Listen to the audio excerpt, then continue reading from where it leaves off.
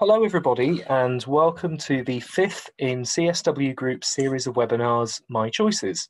Uh, so, this is a series of short webinars that we are offering, which each covers a different range of uh, career development or employability, and they are being offered to young people in a wide range of educational circumstances, and that includes both those in mainstream schools and colleges and also those who are home educated. So today um, we are going to be hearing from our career development consultant Helen Smith, and the session will be entitled "Improving Your Interview Skills." Um, we are trying to make all of these sessions as interactive as possible. So if any of you listening have any questions or any comments, please feel free to enter them in the Q and A box, and we'll do our best to deal with those at the end of the session. So, uh, without further ado, I will hand you over to Helen. Thank you very much for the introduction, Ollie. So I'm Helen and I'm going to talk to you today about improving your interview skills. Um, and this webinar is going to be a bit of a mixture of me talking um, and you watching some short video clips. So um, what I'd like you to do is whilst you're watching the videos, um, if you notice things, I want you to add them into that Q&A box that you can see um, if you're participating in the live webinar. So get familiar with where that Q&A box is and do write some notes in there if you feel able to contribute. Okay. So the aims of today's session are, uh, by the end of this session, you're going to have been able to evaluate examples of poor and good interview skills. You'll be able to identify positive behaviours to show at interview. And hopefully you'll feel more confident about improving your own interview skills as well. Uh, and just before we start, a bit of a recap from the previous webinar. Um, so there's various different interview situations that might happen for you, and it's just after you apply for an opportunity. Um, but that opportunity could be lots of things. So it could be a job, which we might talk about today. It could also be an apprenticeship. Um, it could be a course at a college or a training provider, but it could also be a volunteering opportunity or a work experience placement. So you have lots of different interview situations. Um, and like you heard at the last webinar, there's lots of different uh, scenarios. They could be in person, so face to face. Um, it could be online live video. There could be recorded video, um, or maybe even a telephone interview as well. So it's just best to be prepared for all of these types of situations. Um, one thing I will say is that if you have declared a disability on your application for one of these opportunities, or just let your interviewers know in advance that you have a disability, then they may be making some adjustments to the interview process for you. And just make sure you know what they're adjusting in advance so that you feel confident, confident and comfortable to attend. Um, it really depends on your circumstances, um, but adjustments could include that the interviewers provide you with the questions they're going to ask you in advance of the day. Um, but on the further resources slide at the end of this webinar, there'll be a link for you to find out more about things like that. Um, and the great thing about interview skills is just like other skills out there, they can actually be improved. So that's what we're going to talk about today. You can practice them and improve those interview skills. Um, so next up, we're going to get straight into it and you're going to watch uh, a video clip next. Uh, and what I'm going to ask you to do is uh, watch this short video clip. So the person on the left, the lady is being interviewed. Um, what poor interview behaviours is she showing? So behaviours is just the, the way we act, the way we come across. Um, so what is she doing badly? What poor behaviours is she showing? Um, and if you uh, watch this video whilst you're doing that, if you find the Q&A Q&A box and start typing in your answers to share with us.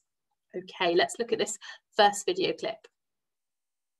Not here yet. I know. We're, it's not a good start. 10 minutes late. Oh.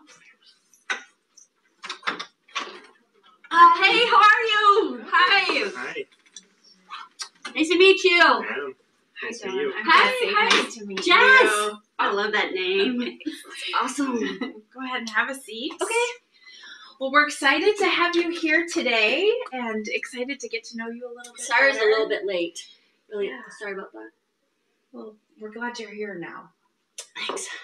So we're going to go ahead and ask a series of questions. Mhm. Adam and I are going to take turns. We're going to hand the question to you so you have a chance to read through it, take your time, um, answer the question thoroughly, and we'll go ahead and get started. How many questions are there? Um, there's usually about six questions. Um, now, what position was this? What was the title? This was for a um, administrative assistant position. Oh, No. I, I must be in the wrong place. Oh, no. Um, I'm sorry. would you like us to tell you a little bit about the position? This is what we. Boy, had I really had a rough morning. Okay. Kids, they just wouldn't get up this morning. The dog would not come in. Parking here is a real challenge. Do you like working here? Yes, I do. Oh, okay. Okay, so that was quite a short clip. So if you can write into the Q&A box if you uh, feel able, um, what poor interview behaviours was she showing? So what was she doing badly? Okay, so I'll let you uh, do that one. So what poor interview behaviours is she showing? And I've got a few suggestions from a previous webinar just to kind of kick us off uh, before you start participating. Um, someone had said that she arrived late. Yeah, that's that's awful for interview if you're arriving late, especially if you're not kind of saying apologising for it straight away and perhaps providing a really valid reason. Um, arriving late just shows that you're not really interested in that opportunity that you're being interviewed for, and it's very unprofessional. Also, arriving late is going to make you feel really nervous about the interview and getting started if, if you care about that opportunity that you're interviewing for. Um, there might be a time when you're thinking, oh gosh, I'm going to arrive late, you're on the bus there's a massive traffic jam ahead, but that's okay because what you will have done is taken the interviewer's contact details or the organisation's contact details with you, and you can phone them in advance just to let them know what's happening. So perhaps they can reschedule your interview for a bit later. That's absolutely okay to do, but try to leave as much time as possible to get to the venue.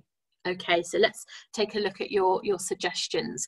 Um, yeah, she was really loud, wasn't she? So she was a bit too loud for the room that she was in, and there was only two other people there, so there's no need to shout as you come into the room. Um, so it's just a bit disrespectful, um, and it was a really informal greeting, wasn't it? So she was like, "Hi, um, how are you?" Um, it wasn't like a good afternoon or, or a good morning. Uh, my name is. Um, I'm looking forward to it. However, you want to kind of uh, introduce introduce yourself formally. Let's look again at your suggestions. Um so yeah she was chewing gum wasn't she? Um again it's just it's really disrespectful it's unprofessional it shows that you're kind of distracted and and you don't really care um, and alongside that, she was also fidgeting with her phone, wasn't she? So she brought her phone in, she was having a look at it as the interviewer was speaking, she was putting it down, picking it up again, maybe finishing off a text message or reading a news article, whatever she was doing. Um, it just looked like she was really distracted and she wasn't there for the right reasons. And, you know, if I was the interviewer, I'd want to hire the person that's really interested in the job if they have the kind of required knowledge, skills, and experience. So, yeah, fidgeting with her phone and chewing gum. Um, okay, let's look at that Q&A for more suggestions. Um, she definitely complained a lot at the end, didn't she? Um, so she was sighing as well. Um, she was having negative comments about her kids and the dogs. It's not relevant to the interviewers. They don't want to know about that. And they don't want to interview someone who's really negative uh, about things. Uh, another thing, uh, as well as the sighing, was her body language. So, how her body looked to them. Um, so, she was kind of slouched back in a chair. She, she didn't really give eye contact very well because she was so distracted by her phone. Um, so, real lack of eye contact with this one. So, that was bad body language uh, that she was demonstrating. Um, and certain enough, she was really unprepared. So she didn't even know what job they were interviewing for. So it's really important that you go into these uh, interviews really well prepared. Okay, um, so let's summarize what we've just talked about. So, what poor interview behaviors was she showing?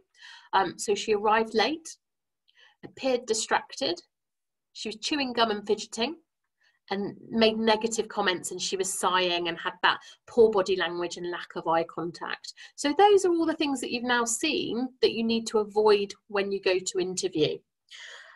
And let's move on. So let's look at the same scenario again. So again, she's being interviewed by the same people, but this is a whole fresh start for her. And I want you to tell me what good interview behaviours is she showing? So what is she doing well? So again, it's a short clip and write any answers that you want to in the Q&A box. So what good interview behaviours is she showing? Good morning. Hi, how are you? Hi, my name's Dawn. Hi, Adam. Nice to meet you, Adam. Hi, Dawn. I'm Jessie. Hi, Nice Jessie. to meet you. Nice to Have a meet you. seat. Thank you. Well, we're excited to have a chance to get to know you a little bit more and learn about your background and experiences. I'm excited to be here.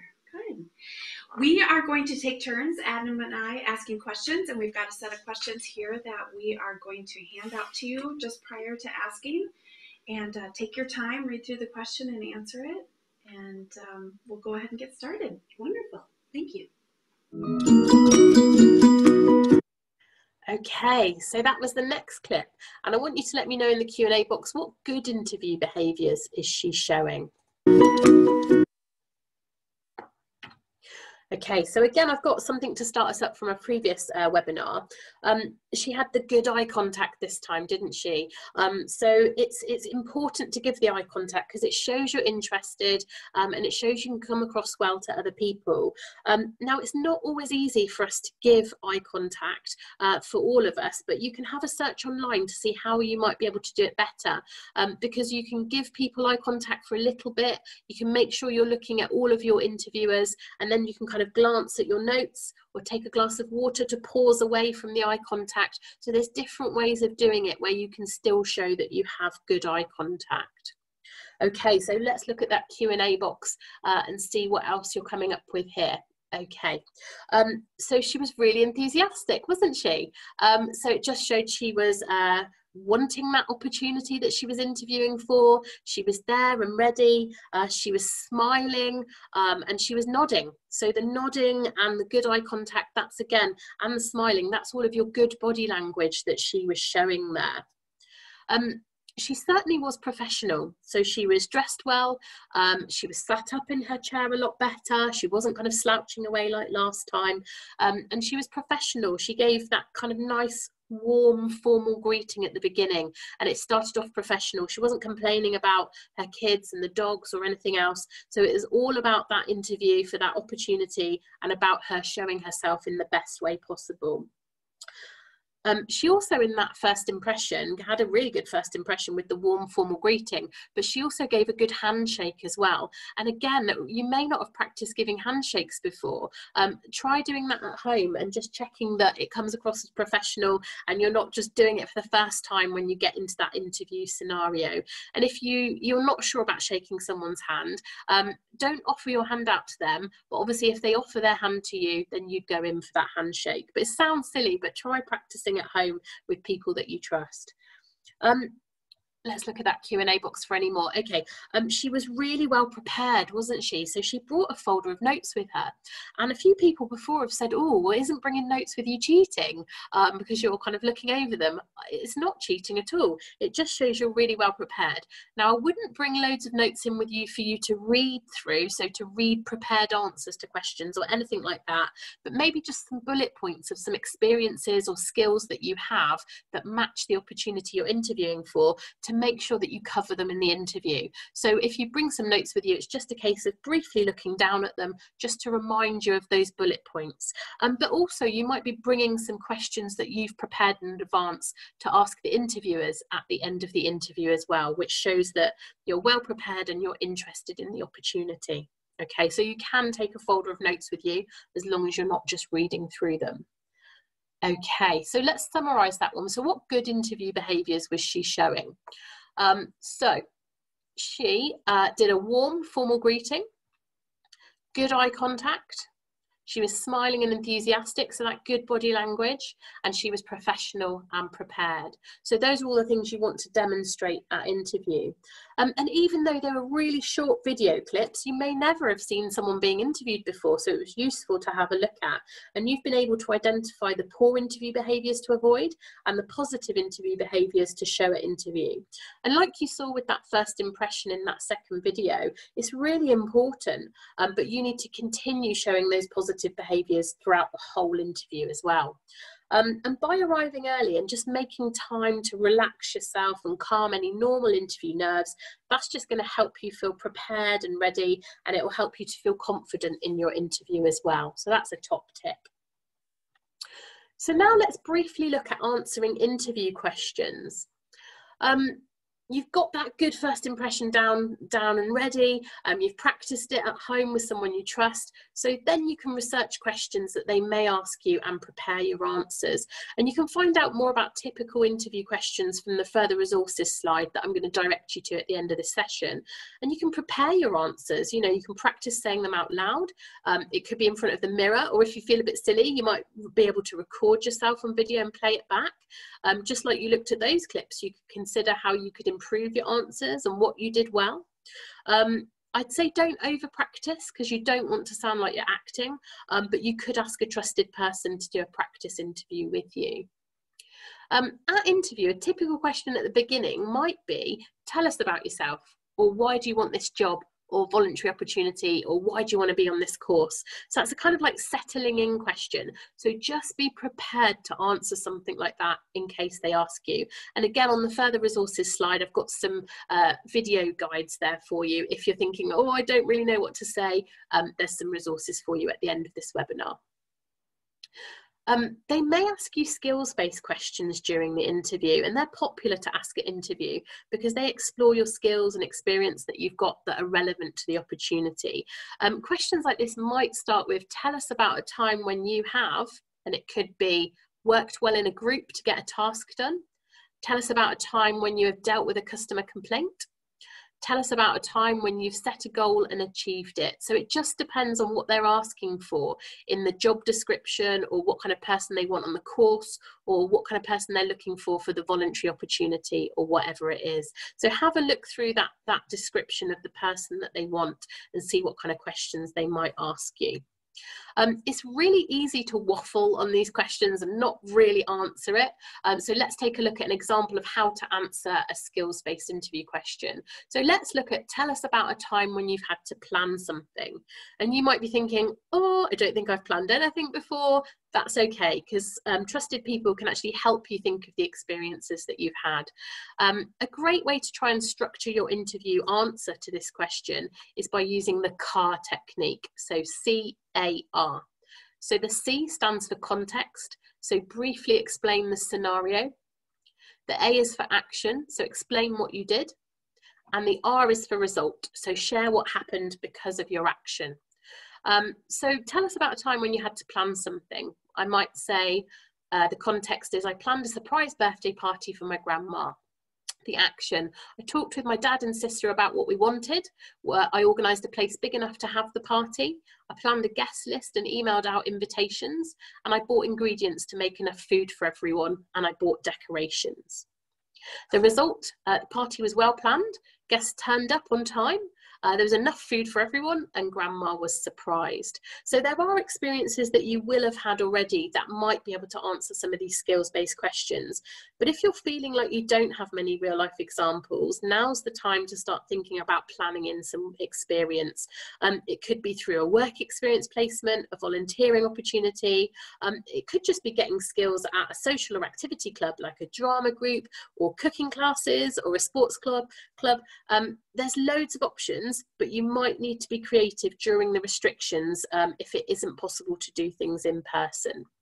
Okay.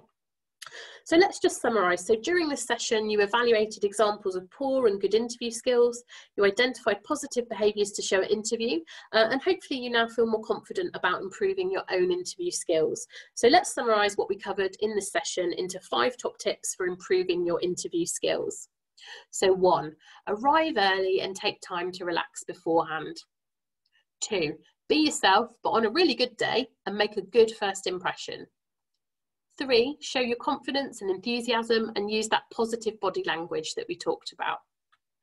Four, prepare your answers to potential questions and practice saying them out loud. And five, finish the interview on a positive note and ask questions at the end of the interview. Okay, so I'll leave it on this further resources slide for a few moments just so you can take a screenshot or take a photo of these uh, web links because there's some great resources in there. There's some interview advice that's written, um, there's some video guides, there's a bit about disability and your rights during the interview process. And a certain one for me is when I get a bit nervous for an interview, ways to relax before an interview. Uh, and getting nervous is really normal and it happens to all of us. So do take a moment to look at that. Um, and thank you for listening today and participating. Um, and just checking with Ollie before you go, are there any questions left to answer?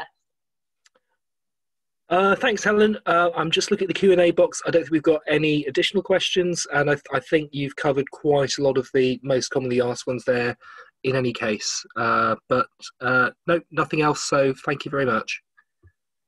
Thank you. Okay, so thank you very much, Helen. So we hoped that you enjoyed that webinar. Um, if you're able to attend our next one, that will be uh, this afternoon at three o'clock, and it will be about social media, how to stay safe online and use it to your advantage. So thanks again to Helen. Um, if you're able to, um, you will be asked to offer feedback on this session. Um, if you have the time to do that, that's uh, very, very useful for us. Um, other than that, um, thank you very much for attending, and we hope to see you next time.